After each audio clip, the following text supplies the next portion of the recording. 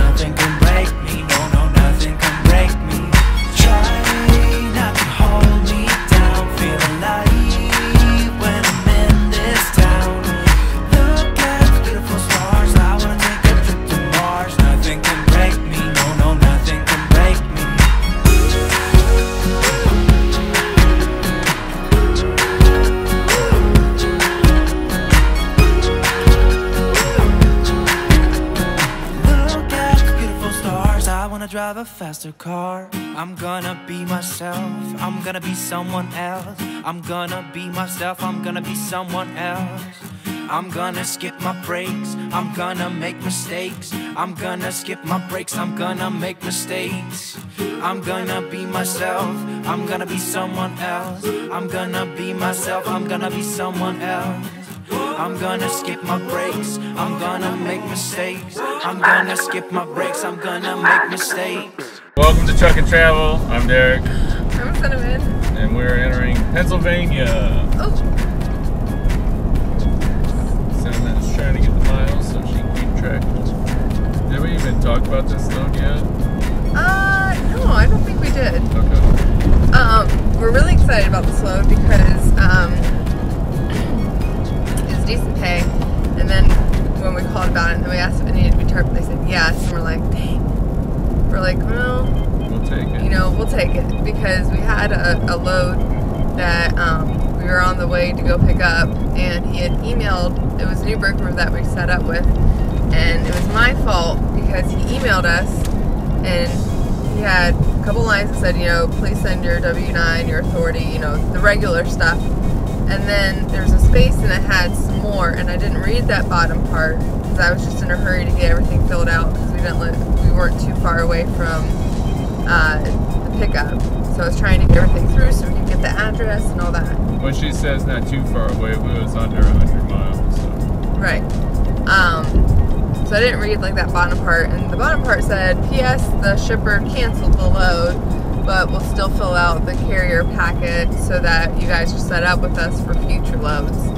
Um, and so I sent everything in, and then I'm like, uh, "Let me know if you need anything else for the rate con to be sent." He said, "I sent it in earlier, you know, email." And so I'm like, crap. And so I went back and read it, and I'm like, yep. you know, I should have read the whole thing at, at first. So that's a little lesson. Make sure that you read the whole thing before you continue. Um, because the email that he sent that he said it was canceled was almost an hour Prior, prior. Yeah. So we wouldn't have even probably not long. yeah, so we all that driving for nothing. So anyway, so we called the next load. Uh, then we found out it was tarped, and we're like, well, you know, we had looked at the load board. We didn't really see anything else. So okay, there's, you know, we'll just That's it. it's not bad weather, so we'll just have to tarp it. So we get there, and he's like, um, I bet it's something over here that's not that's laying out, but they still want it tarped. so That was outside. they they put it on. We strapped it down, and um, I went to go get paperwork, you know, before we started tarping.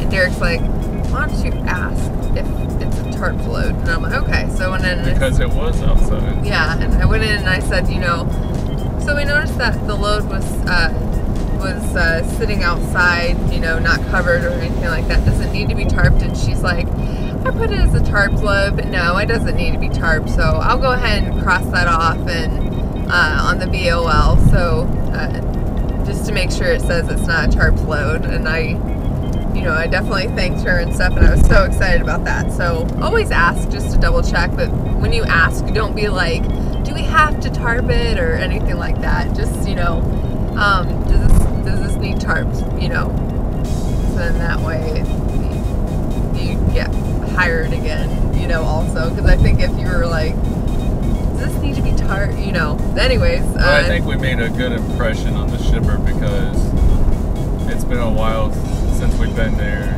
She remembered us. yeah, I thought that was really cool. Yeah. Yeah, and I may or may not have given her a hug when she said it doesn't need to be tarped. But it was kind of funny because um, uh, we knew that it closed at a certain time, and we were asking also because we wanted to hurry and stuff. And she proceeded to tell me the story about how she accidentally uh, locked a driver in the gate and stuff because they had pulled around and they were behind the building but still in the gates. And she said she did a walk through, and he was done like two hours before you know they were gonna lock the gate. So she thought he had already left. I don't know why he didn't at that point, but um, and so he had to like call people, and then she had to come back and let him out of the gate and stuff. so I told her, you know, well at least he got out. so I don't think she'll live too far away to Yeah. be able to unlock it for him. So that'd probably be scary. But so anyways, we don't have to tarp it. Yay! Celebration. What is this thing weigh? Um, it's like fifteen thousand. 700 or something like that? Yeah, something like that. Um, and you can feel it when Yeah, we it, it do feels. stops. It almost kind of- feels like it's heavier than that, but We can take up to sixteen five, so it's okay. yeah, she's heavy. Yeah. But um, so we're really excited.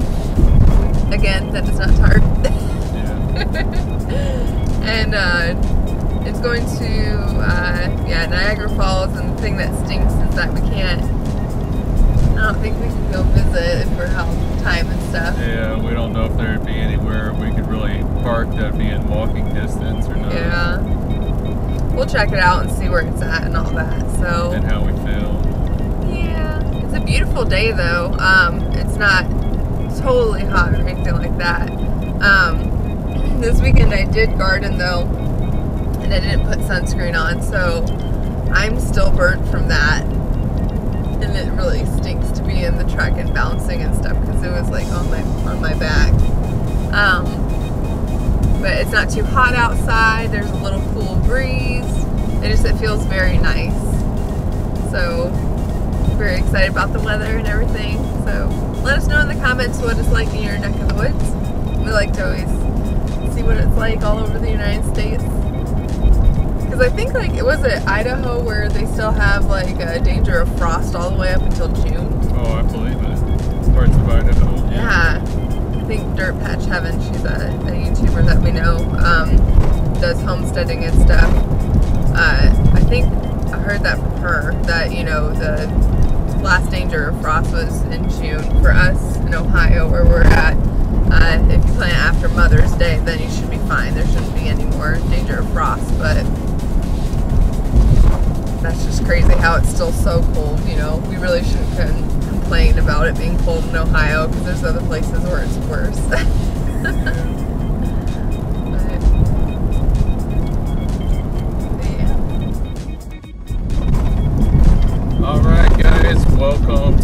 state of New York.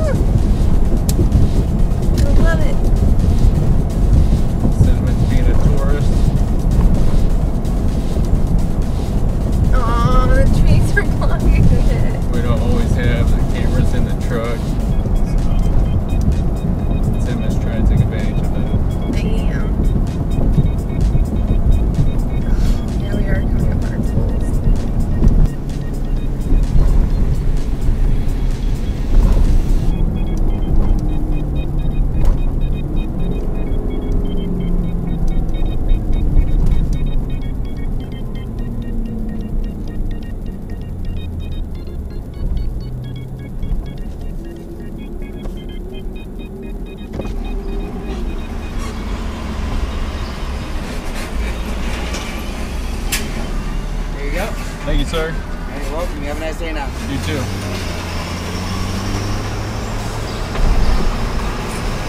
Nice guy. Yeah. See if this white car on the right tries to pass Yep. us illegally like an idiot. And there they go. Welcome to New York!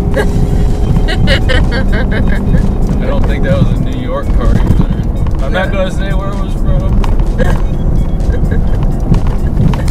Son of a gun, welcome to New. York. Welcome to New York! Are you gonna say welcome to New York every time we go over something like that? I don't know how I thinking about it.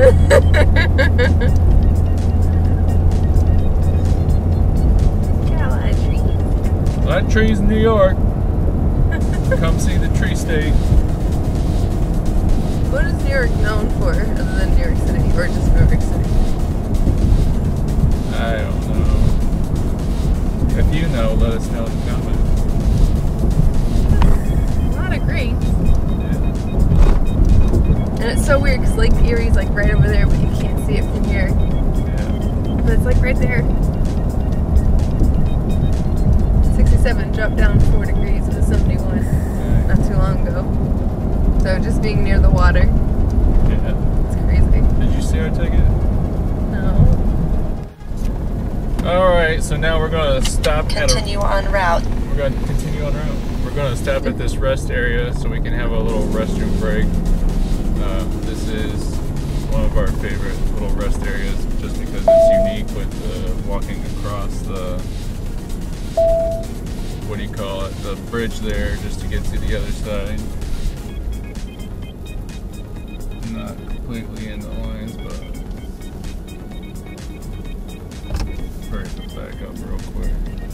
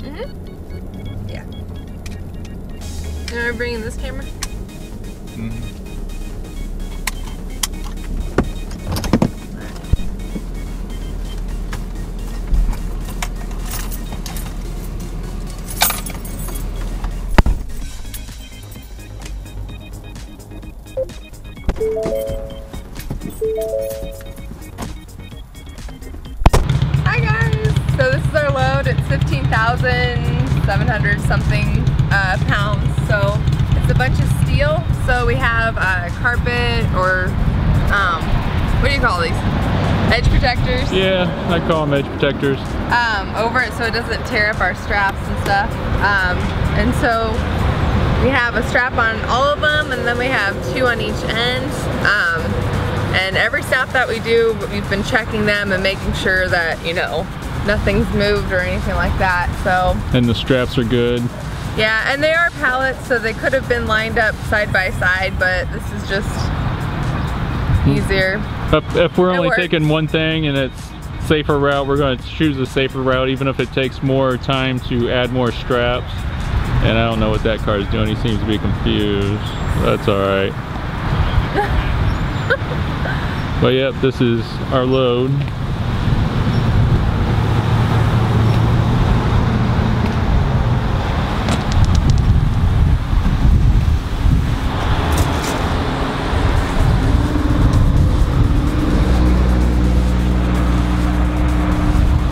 How they feel?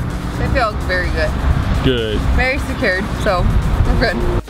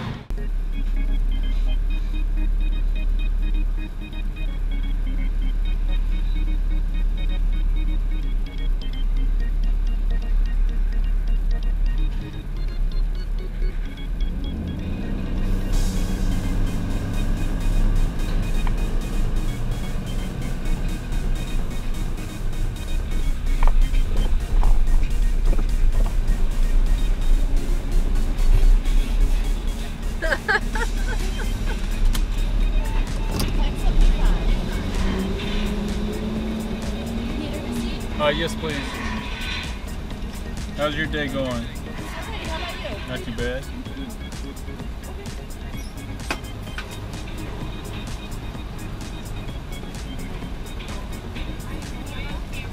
Yeah, What? is that okay? Okay, You look beautiful. there you go. Thank you. Have a good one, you guys.